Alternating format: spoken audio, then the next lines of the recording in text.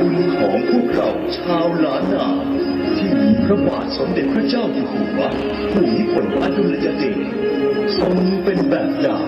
ในการดูแลรักษาวัฒนธรรม เป็นดังร่มโพร่มใสแก่พวกเรา ชาวล้านนา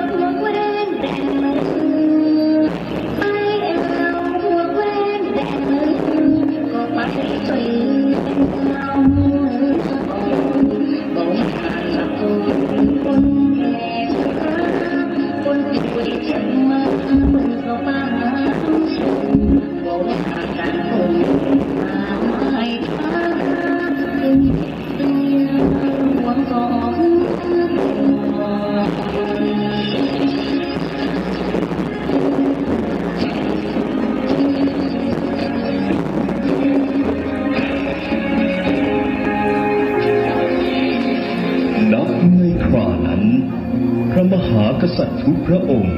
ในราชวงศ์จักรีได้ทรงพระราชทานน้ำพระราชหฤทัยแก่เหล่าประสบนิกรชาวล้านนา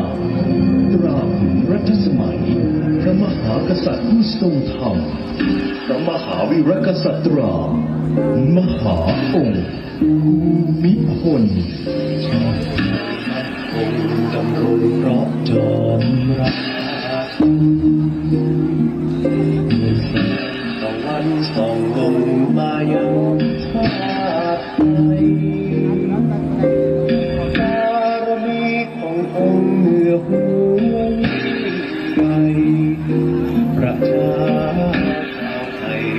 ใจงานที่